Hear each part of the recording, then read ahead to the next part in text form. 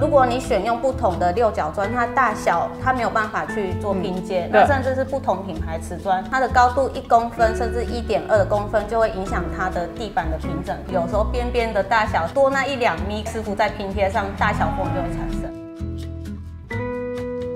Hello，大家好，我们又来到为什么系列。今天的主题是为什么的玄关这么多地砖设计？我是达裕设计总监雅梅。大家好，我是佩轩。我们设计的这么多案例里面啊，其实每个客户在回到家中大门打开的那一个瞬间，第一个接触的地方就叫做玄关。这个玄关它一定会存在，只是说会因为可能每个人的场域啊、动线啊、它的大小。会有一些些不太一样。那我们今天当然就针对玄关可以用地砖材质来做一个介绍。在玄关的设计空间上啊，我们会看这个格局它适不适合来做玄关。那原则上，第一可能要考量到面积的大小，它可能大概需要一到两平。那适不适合做落成区的话，可能要看一下它四周的动线，还要考虑到大门的门槛的高度适不适合再做降低的动作。那如果遇到比较小格局的话，我会建议说特别去区隔出它是一个玄关区，我们会考量它的动线适不适合、顺不顺畅。那我们可以透过就是地砖比较像不规则的拼接的方式，自然延伸到室内的地板，来作为玄关的呈现。不要让它变得很有形的一个区隔在那里，可是它一样可以有玄关感，因为在这个地方我们就会回到功能，就是它基本上落成就会放鞋子，然后还为所有的一些随手一些包包衣物的一个收纳。对其实无形中我们也可以透过这样的渐进式画面去营造一个玄关的概念。当然，我们今天聊的是地砖，所以我们就会去加强说地砖怎么去做分界啊，怎么去做对设计啊，甚至刚才佩轩提到的工法的部分，可能要注意你有没有要降低一两公分啊，走到室内你有没有比它更低，还是要跟它一样高？这个你也可以思索一下。甚至说也有客户说，哎、我可能还会考量到我的扫地机要不要过去，还会考量到很多每个人在意的因素不一样，所以你可以先思索一下，你希望你的玄关除了画面以外。还需要带给你怎样的功能？地砖这个部分的一个所谓的色系啊，我们就会讲到设计面了。色系常常设客户也会提提到说，哎、设计师你怎么去帮我选购这个花色，选购这个材质，选购这个内容？我们会是以哪一些做出发点？那在挑选玄关的瓷砖的设计的时候，我们会考量到它的清洁度容不容易清，还有就是它的止滑度够不够高。考虑到整体的风格，我们会用怎样的花色？因为像花色的部分，玄关地砖就有很多选择，它可能有六角砖，可能有花砖。那甚至有木纹砖的选择，其实种类蛮多的。那透过这些砖的不同的铺设方式，它呈现的风格，每个人的居家的设计会很不一样。其实我们在讨论这个议题的时候，我们会分享一些地砖设计最有印象的。像我都每次都会跟他们说，我曾经用过一个地砖六角砖，大概有六七个客户使用，可是六七个客客户他所呈现来的花色是完全不同的。我自己也觉得哎、很惊讶，原来可以这么多变化性，可以单用它的树砖，也可以单用它的花砖，在这样的六角拼贴下，有人喜欢花多一点。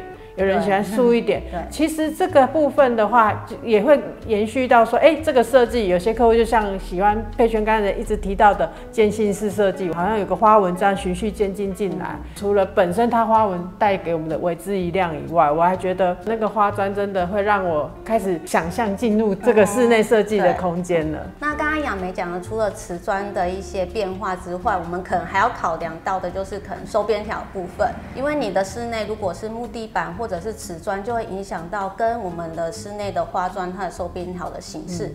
那甚至它的高度有没有落差，都会影响这个收边条的样式。它可能是金属条，有可能是木地板的收边条，有可能是 T 字形，也有可能是 L 型的方式。它还是会有一个，就是我们讲的，也是一个区分的概念。然后有的时候也是为了加强所谓的两个介质的交界是能够更有稳固度的。常常也会有客户说，哎、一定要用收边条吗？其实还是会有一个所谓的产品特性、结构特性在里面。我们还是要考量，除了设计以外、美观以外，这部分还是会考量到使用功能。因为玄关是每天应该会进出非常多次的地方。嗯，尤其是一材质的部分，一定要用收边条好去处理。聊完那么多比较偏呃高度啊、深度啊，还有收边条，我们到底用了多少地砖在我们的玄关画面里面？一定要再分享一下我们案例中美美的作品。那我们看到第一个案例的话，这个是使用六角砖去做铺贴，在一开始建商的格局规划上，它就是有个很独立的一个方正的一个玄关区。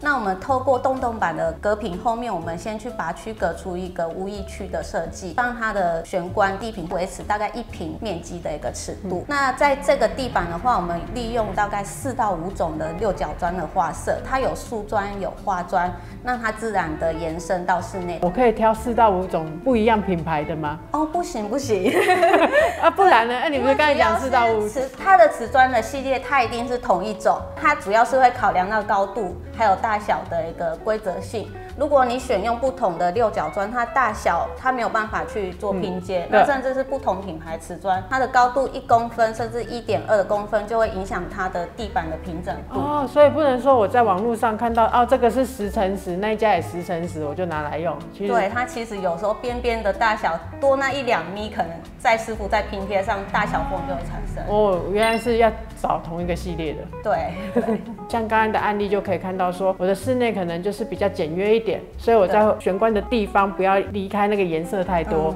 我一样还是比较偏灰黑的部分去带到整个室内空间。当然也会有另外的客户说，我看到那么多砖就只能用花砖嘛，就只能用一般的可能防滑砖嘛？当然不是啊，像近年来也有一些所谓的偏大理石花纹的砖，其实这个也很漂亮，因为在很多客户他一开始就说，哦，我喜欢那种很现代风，我喜欢有带一点就是石材的感觉，所以在这个选用上，我们其实。反倒是会以室内空间去带到室外空间，像我有客户是会用到一致性的颜色，我觉得我一进来我就要同样的颜色。对，啊，当然也有说，哎，我一进来想要很轻盈的感觉，就像我们照片中的一个纹路，它是带一个淡淡的花纹纹理，然后延续到室内的空间，随着灯光，随着这个廊道，你会觉得自己很像在走在艺廊里面。在这个案例的话，其实它本来是成屋，那我们有去做一个隔间的重组的动作。因为它其实，在一开始玄关进去的时候，有一只大柱子卡在中间。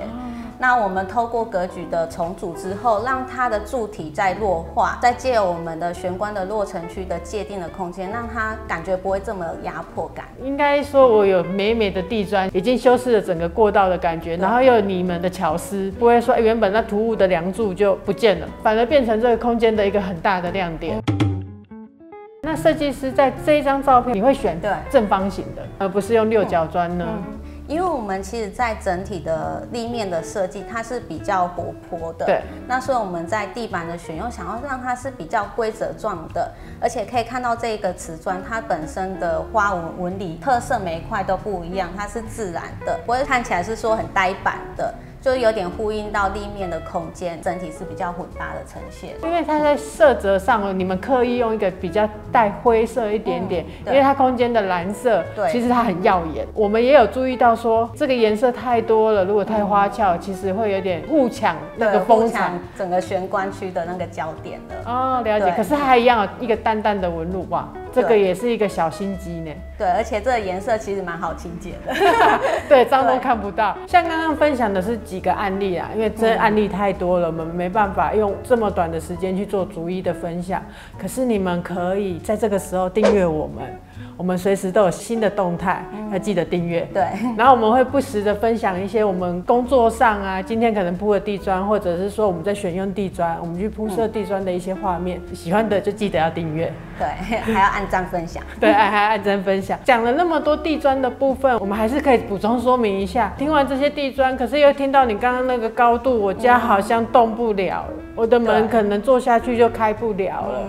那我我我还有什么选择啊？瓷砖的部分一定会要动到泥做。如果一开始在刻变的时候没有将它原本的瓷砖退掉的话，那变人还要再做拆除。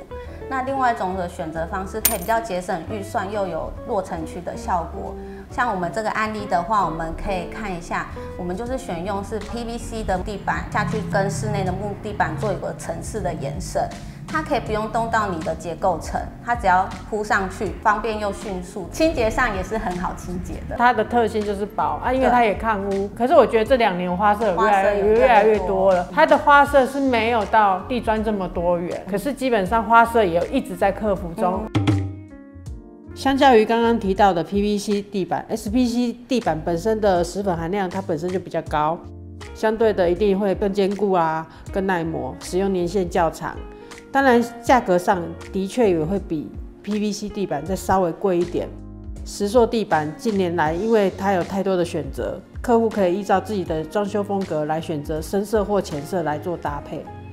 刚刚分享完有一般的地砖、花砖，然后到我们最后的一个石塑地板。原来玄关设计有这么多元，在这个设计空间里面，原来有这么多的变化，可以让我们每一个人可以选择的方式这么多种。玄关是家里真的非常重要的一个空间，它要承载着我们一进门的鞋子啊、衣物啊，甚至到很多大家个人习惯的一些用品。所以这个空间的美化，其实也是近年来蛮多客户注重的一环。